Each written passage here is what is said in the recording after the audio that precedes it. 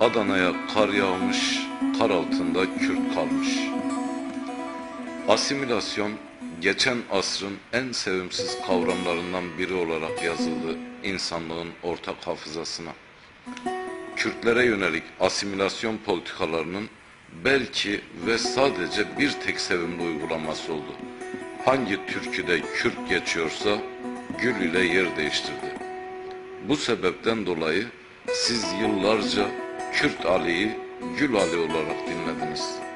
Yazının başlığında bu kez tersine bir takas görüyorsunuz.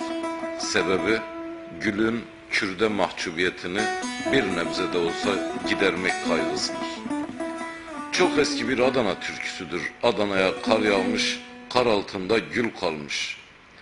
Adana'da mevsim sıcaklıkları bilindiği gibi daima Türkiye ortalamasının bir hayli üzerinde seyreder. Kar mevsiminde gülün çoktan açmış olması bu yüzdendir.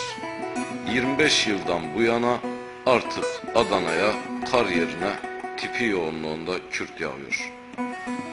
Göç edenler Sosyal Yardımlaşma ve Kültür Derneği'nin raporuna göre çatışmaların şiddetlendiği 90'lı yıllarda 3438 köy askerler tarafından zorla boşaltılarak 4 ile 4,5 milyon arasında Kürt vatandaş yaşadığı yerleşim alanından zorla göç ettirildi.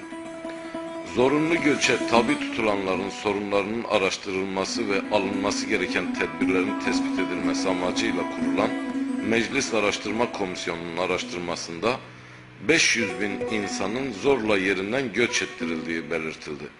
Ancak köylerin boşaltıldığını kabul etmesine rağmen araştırma komisyonu göçün doğal göç olduğunu iddia etti. Korucu olup kendi kısmına kurşun sıkmayı kabul edenler kaldılar, bu ayıbı kabul etmeyenler göç ettirildiler. Kalanlar gidenlerin tüm varlığına el koydular. İşte meclisin doğal saydığı şey buydu. Doğaya baktığınızda da böyle bir kurt kanunu işler. Herhalde doğal derken bunu düşündüler. Ocaktaki yemeğini, ahırdaki kuzusunu, ayakkabısının tekini bile alamadan bir çileli gurbete tehcir ettirildiler. İstanbul en çok gidilen yerdi. Büyük çoğunluğu ilk defa gördüler İstanbul'u.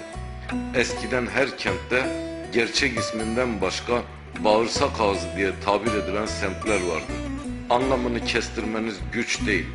İşte o tarife uyan, çoğunuzun gündüz bile girmeye çekineceği semtlere yerleştiler. İkinci sırayı Adana alıyordu. Biz de Adana'ya gittik. Karataş ilçesine giderken Tuzla beldesinin tabelasını görüp de oraya doğru yöneldiğinizde İstanbul sever bir yetkilinin ironi şaikası tabelaları yolunuza çıkıp dururlar. Kadıköy, Göztepe, Yenikapı vesaire diye adlandırılmış olan yerleşim yerlerinin içinden geçersiniz. İsimleri dışında bir benzerlik bulmak için boşuna yorulmayın. Tuzla'ya gelmeden Çukurova'nın atar damarları sayılan sulama kanallarından birini göreceksiniz. İşte orada durun ve sağınıza bakın. Sazdan, samandan, kamıştan yapılma 80 kadar virane göreceksiniz. Orada yaklaşık 500 Kürt yaşamaktadır. Eğer buna yaşamak denirse. Çoğu 1986 yılında olmak üzere hepsi de evleri, meraları, davarları, yatakları, yorganları yakılarak köylerinden bir gecede çıkartılmışlar. Kısmetsizlik midir nedir?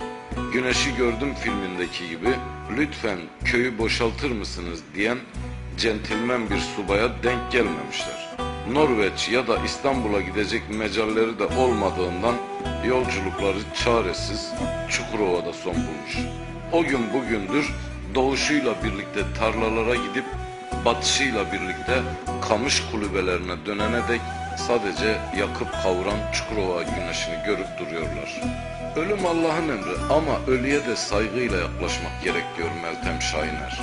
Neredeyse ilk göçerlerin geldiği günden bu yana fotoğraf makinesiyle onların bol ölümlü hikayelerini ölümsüzleştirmenin peşinde.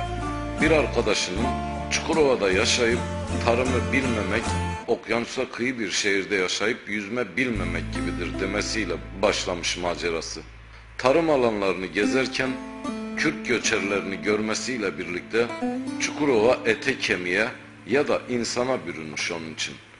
Onun sanatını bu insanlara vakfetmesine yol açan olay aslında bu ülkenin 30 yıllık kaosunun özeti gibidir. İlk gelen ailelerden biri tarlada çalışırken babaları ölüyor. Yabancılara mülk satışıyla oradan geniş topraklar alan firmanın yetkilileri hemen feryat figan ağlayan aileye müdahale ediyorlar.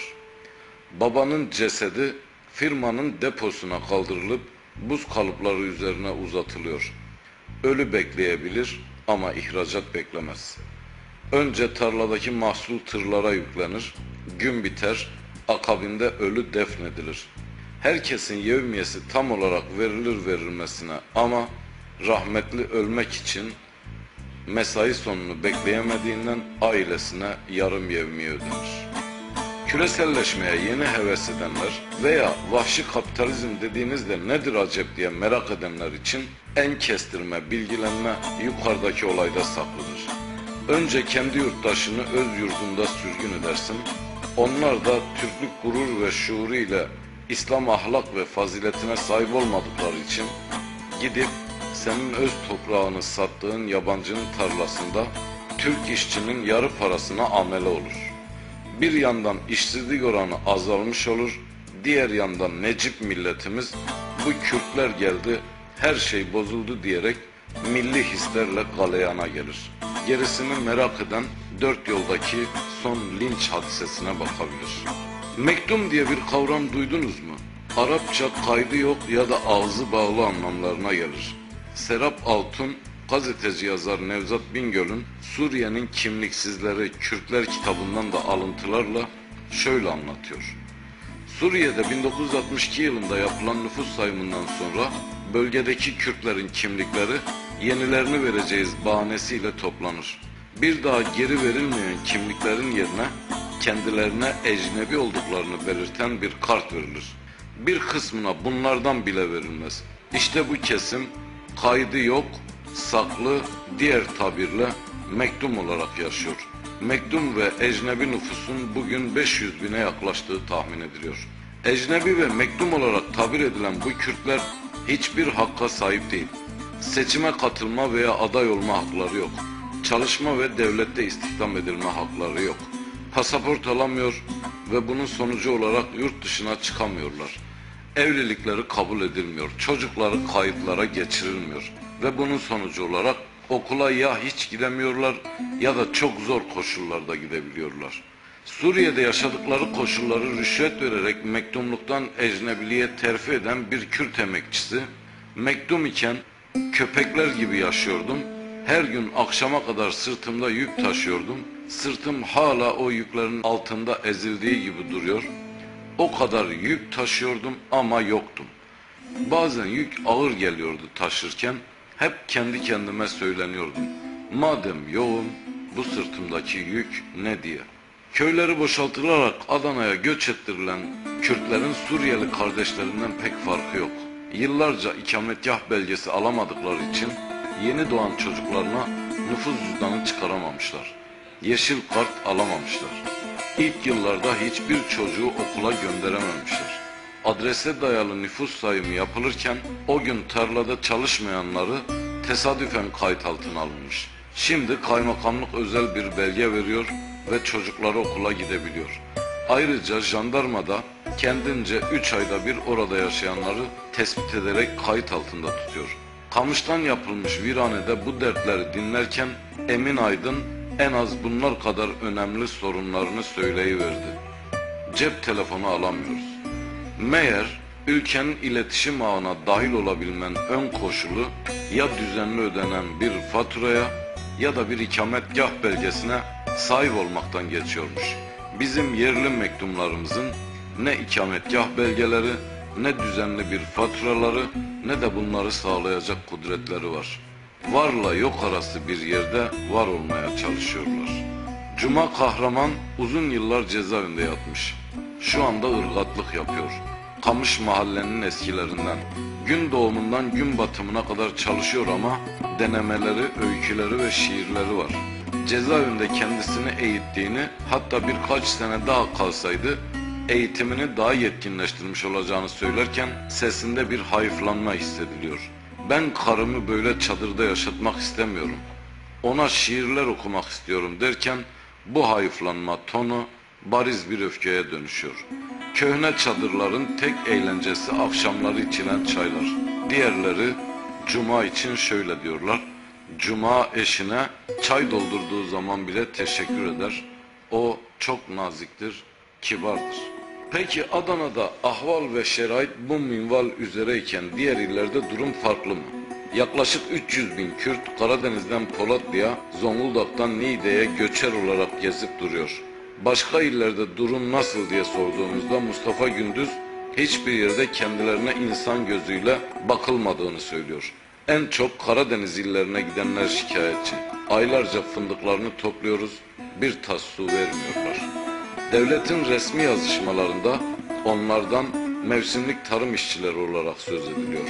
Çalışma ve Sosyal Güvenlik Bakanlığı bu sorunu düzenlemek için valiliklere 31 Mart 2010 tarihinde bir genelge gönderdi. Bu genelgede Kürt tarım işçilerine yönelik ayrımcı uygulamaları içeren bir dizi önlem alınması isteniyor. Genelgede milli birlik ve beraberliği bozma ihtimali olduğu vurgulanan işçilerin sürekli gözetim altında tutulması direktifi veriliyor. Mevsimlik gezici tarım işçilerinin çalışma ve sosyal hayatlarının iyileştirilmesi stratejisi ve eylem planı adıyla 81 ile gönderilen genelgede güvenlik başlığı altında ayrımcı öneriler yer alıyor. Bakanlığın eylem planında işçilerin belirlenen konaklama alanlarının dışına çıkmasına yasak getirilmesi, Kürt işçilere çalışma süreleri boyunca toplama kampı hayatı yaşatmaya dönük bir uygulama olarak şanlı tarihimizde yerini almış bulunmakta. 2009 yılında Nazilerin Polonya'daki ölüm kampı Auschwitz'te Hitler'in Arbeit macht frei, çalışmak özgürleştirir tabelası çalınmıştı. Bu tabeladaki yazının kendisi değil belki ama hayaleti göçmen Kürt işçilerinin üzerinde dolanıp duruyor. Kamış mahalleden ayrılırken Cuma son bir şey eklemek istiyor. Bu ülkede milli birlik ve beraberlik var ya sadece tek bir şeyde geçerli o da Kürtleri ucuza çalıştırmak. Bu Türkiye'nin 81 vilayetinde de aynı. Hiç değişmiyor. Ben bu dünyanın her yerinde böyle ve buna kapitalizm deniyor dediğimde Cuma şunları söyledi. Biz Kürtler de dünyali dinye çave kurli miye diyoruz. Yani dünya, dünya olalı kurdun gözü koyundadır.